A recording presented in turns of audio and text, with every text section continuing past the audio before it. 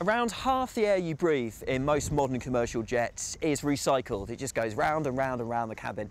The other half, though, is drawn through here, the engines. Now, normally that's not a problem, but if there's a fault in the seal of these engines, that's where some people think engine oil and other toxic fumes could be sucked up from here into the cabin itself.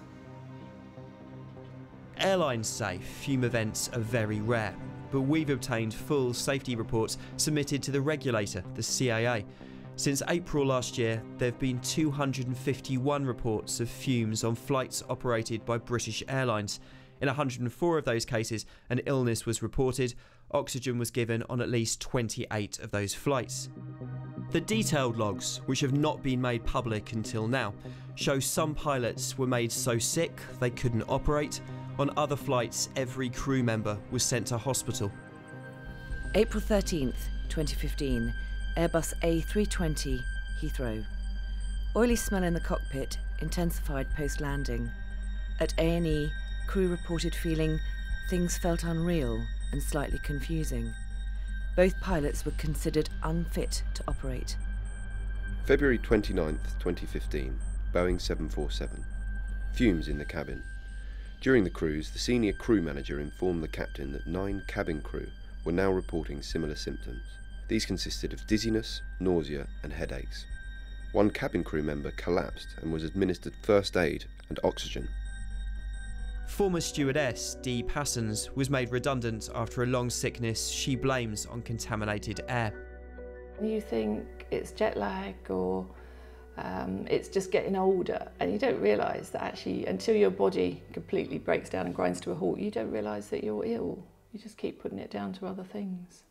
Campaigners are now waiting for the outcome of two high profile inquests. Richard Westgate and Matthew Bass both worked for British Airways. Both died after long illnesses, which their families blame on toxic fumes. The Unite Union, which represents cabin crew, has opened a dedicated legal unit and is preparing 17 more cases against airlines in the civil courts. Plane makers and airlines themselves say there is no proof of any long term health effects from breathing cabin air.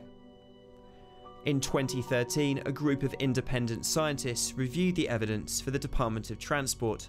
The levels were often as low or even lower than those in the home or in the workplace. This is in normal flight. Of course, we can't be sure what the levels are in so called fume events, which are very rare. But lawyers working in this area are now comparing toxic air to other industrial health scares.